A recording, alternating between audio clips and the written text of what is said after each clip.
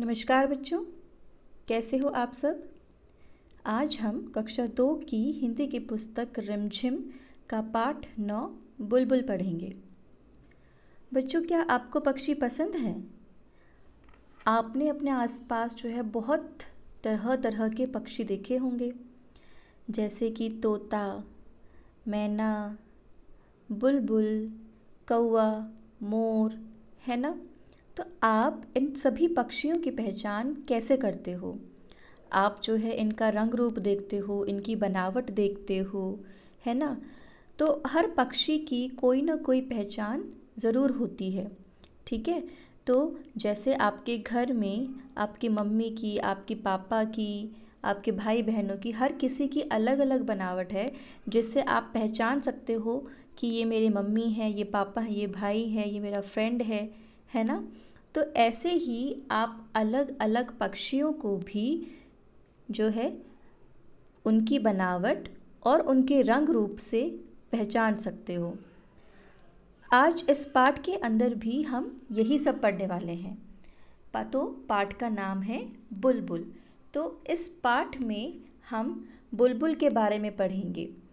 तो बुलबुल जो चिड़िया होती है, उसके बारे में इस पाठ के अंदर जो है जानकारी दी गई है और इसमें बताया गया है कि बुलबुल की पहचान हम कैसे कर सकते हैं। तो चलिए देखते हैं कि क्या है इस पाठ के अंदर। बुलबुल। बुलबुल को बच्चों इंग्लिश में हम नाइटेंगल भी कहते हैं। क्या तुमने कभी बुलबुल देखी है? तो बच्चों बताइए, क्या आप सबने कभी बुलबुल देखी है? आप लोगों ने देखी भी होगी। और बहुत से बच्चों को पता भी होगा कि ये बुलबुल है। और शायद कुछ बच्चे ऐसे भी होंगे जिनको नहीं पता होगा कि बुलबुल कैसी होती है। तो अगर आपको नहीं पता कि बुलबुल कैसी होती है तो चलिए देखते हैं इस पाठ के अंदर कि क्या क्या जानकारी दी गई है। और फिर पाठ के अंत में आप मुझे बताना कि जो जानकारी इसमें बुलबुल के बारे में दी गई है, उस जानकारी के बारे में पता कर कर क्या आप अपने आसपास जो पक्षी हैं, उनमें से बुलबुल को पहचान सकते हैं? तो चलिए देखते हैं आगे।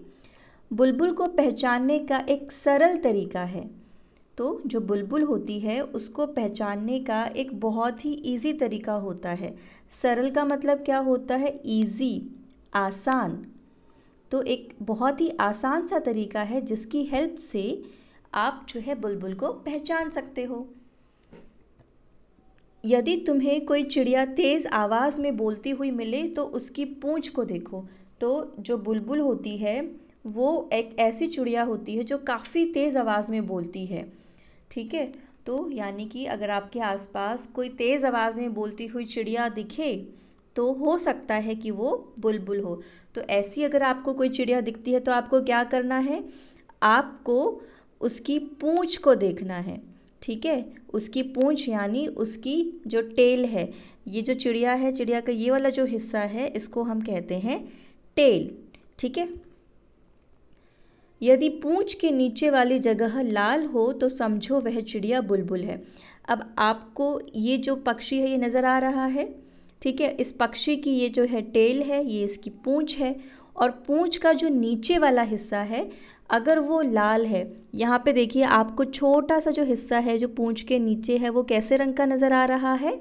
लाल रंग का।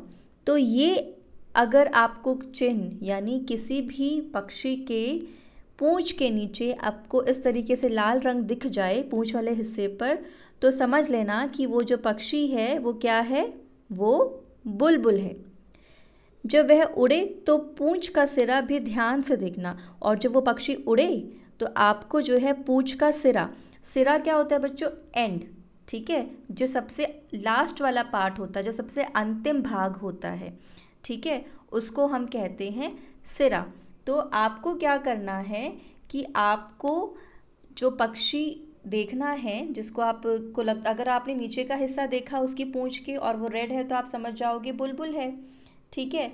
और जब वही पक्षी उड़ेगा, ठीक है? तो आपको क्या करना है कि उसकी जो पूँछ है, उसकी पूँछ का जो सिरा है एंड है तो देखो आपको पता है ये इसकी पूँछ है, ठीक है? पूछ का एंड पार्ट ये है है ना? पूछ का सबसे जो निचला हिस्सा है, सबसे जो एंड वाला पार्ट है, सबसे लास्ट वाला जो पार्ट है, जो बिल्कुल बॉटम में है, ठीक है? तो उस हिस्सों को आप जो है देखेंगे। अगर उस हिस्से में आपको जो है सफ़ेद रंग का दिखाई दे जाए, अगर वो हिस्सा, ठीक है? तो वो क्या होती है? बुलबुल, ठीक है? तो यहाँ पे भी आप देख सकते हो कि इसकी जो पूंछ है, उसका जो सबसे लास्ट वाला पार्ट है, वो बिल थोड़ा सा पार्ट जो है, वो कैसे रंग का है? वाइट देखिए, बाकी इतना पार्ट तो ये सारा रेड है, लेकिन ये थोड़ा सा जो पार्ट है, जो नीचे की तरफ़ है, ये कैसा है? वाइट कलर का. तो बुलबुल की पूंछ के सिरे का रंग सफ़ेद होता है. तो जब आप उसकी पूंछ का सिरा देखोगे तो उसका रंग जो है, कैसा होता है? सफ़ेद. उसका बाकी शरीर भूरा और सिंह का, सिर का रंग काला होता है और जो बुलबुल होती है, उसकी जो बॉडी है, ठीक है, इसका जो पूरा शरीर है, उसके शरीर का रंग भूरा होता है। ठीक है, आप यहाँ पर देख सकते हो कि इसका रंग कैसा है, इसके शरीर का रंग जो है भूरा है, लेकिन उसका जो सिर होता है, सिर का रंग काला होता है। तो देखिए यहाँ पे सिर का रंग काला है और बाकी जो बॉडी का बाकी जो हिस्सा है, वो जो कलर है, वो ब्राउन कलर है। ठीक है भूरा रंग यानी कि ब्राउन कलर, मिट्टी जैसा रंग, ठीक है? तो क्या पहचान हमें पता लगी कि अगर कोई चिड़िया बहुत तेज़ आवाज़ में बोलती है तो हो सकता है वो बुलबुल हो, फिर आप क्या चेक करोगे? आपको अगर कोई चिड़िया तेज़ आवाज़ में बोलती हुई नज़र आती है तो आप जो है उसकी पूंछ का, जो नीचे का हिस्सा होता है वो चेक करोगे, ठीक है? तो जैसे आपको ये नीचे दिखाई दे रहा है यहाँ पे कि ये जो चिड़िया है, इसकी पूंछ का नीचे का हिस्सा कैसे कलर का है? रेड कलर का। तो पूंछ के नीचे का हिस्सा अगर आपको रेड दिखे तो वो बुलबुल हो सकती है। फिर आप क्या चेक करोगे? फिर आप चेक करोगे कि जो पूंछ के नीचे का हिस्सा है, सबसे एंड वाला जो पार्ट है पूंछ का, ठीक है? वो एंड वाला पार्ट वाइट होना चाहिए। तो जैसे ये वाला एंड वाला पार्ट इसका वाइट है, ठीक है? तो अगर वाइट हुआ तो वो क्या होगी? वो बुलबुल होगी। और क्या इसके बारे में ख़ास बात होती है कि इसकी जो बॉडी का कलर होता है, इसके शरीर का जो रंग होता है, वो ब्राउन कलर का होता है। लेकिन इसका जो सिर होता है, सिर वाला जो हिस्सा होता है, सिर वाला जो पार्ट होता है, उसका कलर ब्लैक होता है, काला होता है। ठीक है? तो आगे बढ़ते हैं। बुलबुल ऊँची आवाज़ में बोलती है। तो जो बुलबुल होती है, उसकी एक और ख़ास बात होती है कि वो ऊँची आवाज़ में बोलती है। बुलबुल को हम लोगों से कोई डर नहीं लगता तो बुलबुल को इंसानों से कोई भी डर नहीं लगता। हम लोग का मतलब यहाँ पे कौन है? हमारे जैसे, यानी इंसान। तो जो बुलबुल होती है, उसको इंसानों से, आदमियों से कोई भी डर नहीं लगता, यानी उसको मनुष्य से कोई भी डर नहीं लगता।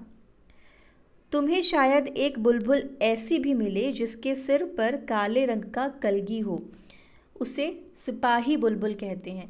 तो बेटा, अगर आप देखो तो बुलबुल जो होती है, उसको तो हमने आइडेंटिफाई कर लिया, लेकिन कुछ बुलबुल ऐसी भी होती हैं, जिसके सिर पर जो है आपको कलगी जैसी कुछ दिखेगा, काले रंग की जो कलगी होती है।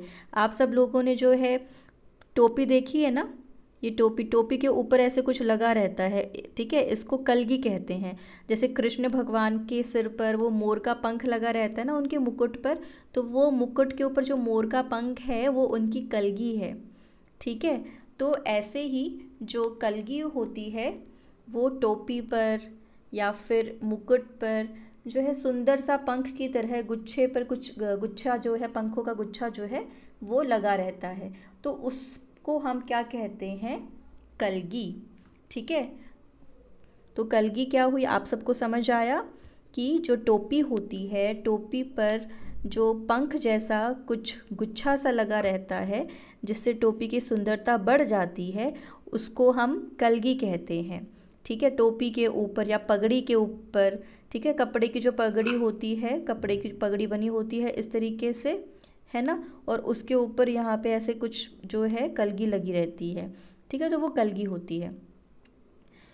उसे हम सिपाही बुलबुल कहते हैं। तो ऐसा कोई भी बुलबुल जिसके सिर पर काले रंग की ऐसे कोई भी जो है, कलगी लगी हो, ठीक है? उसको हम क्या कहेंगे?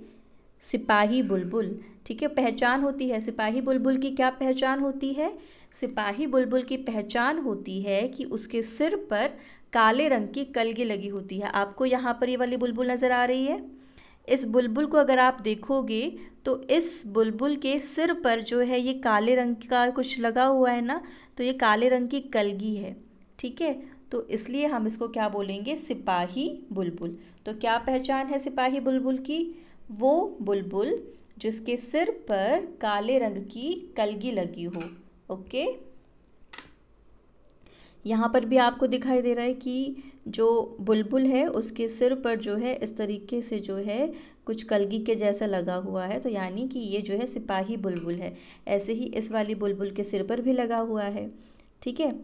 तो अगर आप ध्यान से देखोगे, जैसे हम इस वाली बुलबुल का एग्ज़ाम्पल ले लें तो इसके अंदर हमें क्या क्या गुण मिला कि इसका जो पूछ के नीचे वाला हिस्सा होता है, वो रेड है। पूछ का जो सबसे एंड वाला पार्ट होता है, वो वाइट है। इसकी बॉडी का कलर ब्राउन है, इसका जो मुँह है, उसका रंग क्या है? काला है, ठीक है? और इसके सिर पर काले रंग की कलगी है, यानी ये कौन से बुलबुल है? ये बुलबुल है और कौन से बुलबुल? सिपाही बुलबुल।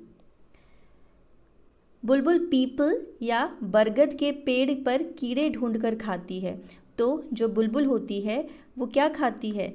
वो पीपल के पेड़ पर या फिर बरगद के पेड़ पर, ठीक है? बरगद जिसको हम बैनियन ट्री भी कहते हैं इंग्लिश में तो बरगद या पीपल के पेड़ पर से वो जो है कीड़े ढूंढ ढूंढ कर खाती है। वह हमारी तरह सब्ज़ी और फल भी खाती है। तो ऐसा नहीं है कि बुलबुल सिर्फ़ और सिर्फ़ कीड़े ही खाती है। बुलबुल जो होती है वो हमारी तरह सब्ज़ियाँ, फल, ये सब भी खाती है। अमरूद के बगीचे या मटर के खेत पर बुलबुल काफ़ी ज़ोर से हमला करती है। तो इसका मतलब क्या हुआ कि अमरूदों के बगीचे पर या मटर के खेत पर बुलबुल जो है बहुत ज़ोर से, काफ़ी ज़ोर से, काफ़ी यानी बहुत ज़ोर से, ठीक है, हमला करती है, यानी उस पर जो है झपट जाती है। जहाँ कहीं भी अगर उसको अमरूद का जो है बगीचा दिखे या मटर का उसको खेत दिखे, उसको इतने पसंद है अमरूद और मटर कि वो बस जो है उस पर अटैक कर देती है, उस पर हमला कर देती है। हमला करना यानी कि अटैक कर देना, ठीक है? तो बुलबुल उस पर एकदम से जाकर क्या कर देती है? अटैक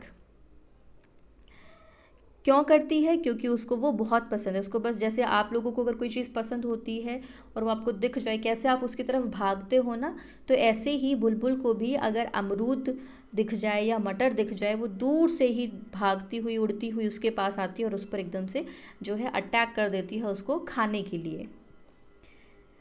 वह अपना घोंसला, सूखी हुई घास और छोटे पौधों की पतली जड़ों से बुनती है।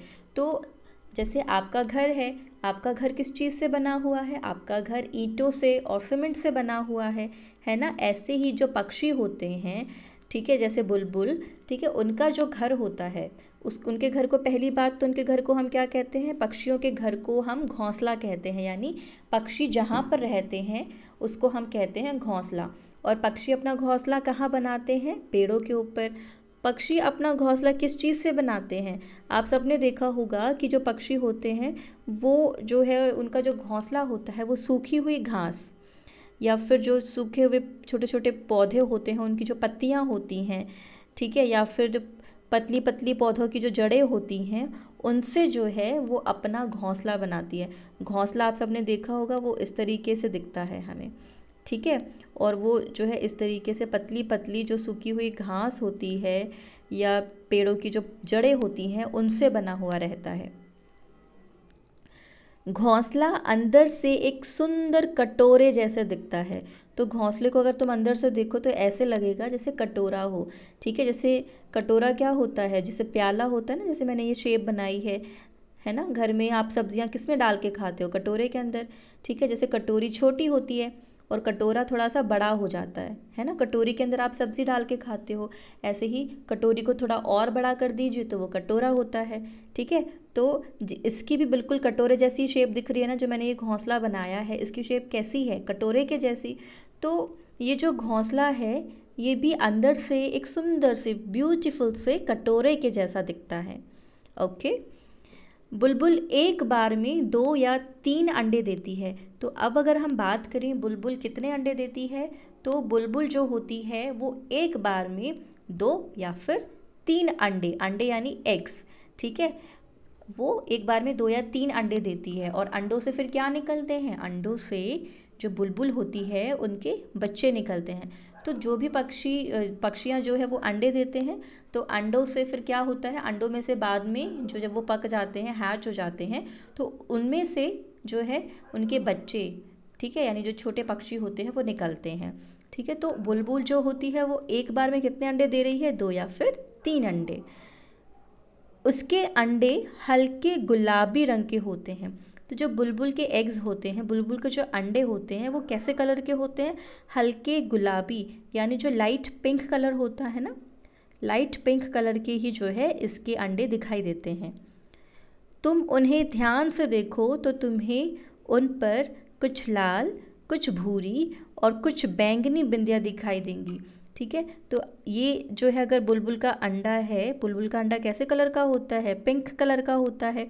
तो अगर उस अंडे को तुम ध्यान से देखोगे, ठीक है तो उस पर तुम्हें इस तरीके से कुछ धब्बे दिखाई देंगे, ठीक है?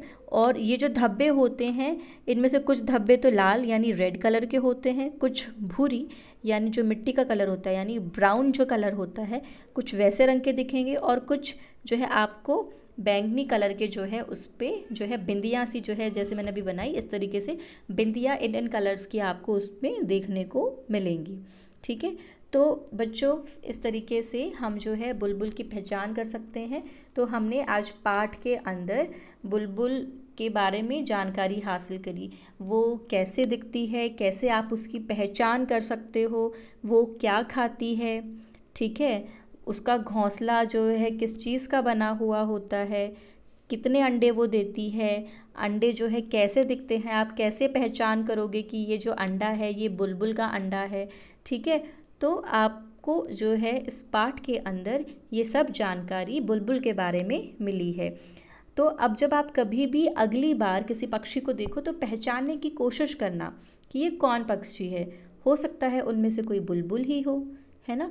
फिर जब आप पहचान पाओगे उसको कि वो बुलबुल है तो आपको बहुत अच्छा लगेगा। अरे वाह! मैंने तो लेसन में पढ़ा था। और इसमें जो है बिल्कुल वैसी ही जानकारी है, जैसा कि मैंने बुलबुल को देखा। तो अब हम इस पार्ट में आए हुए कुछ डिफ़िकल्ट जो शब्द हैं, उनको देख लेते हैं। ओके पहला है सरल। सरल का मतलब होता है आसान, यानी ईजी अगला है सिरा। सिरा मैंने आपको बताया था, जो बिल्कुल एंड वाला पार्ट होता है जो अंतिम जो भाग होता है किसी भी चीज़ का, उसको हम कहते हैं सिरा। ठीक है? अगला है भूरा। भूरा होता है मिट्टी के रंग का, यानी ब्राउन कलर का।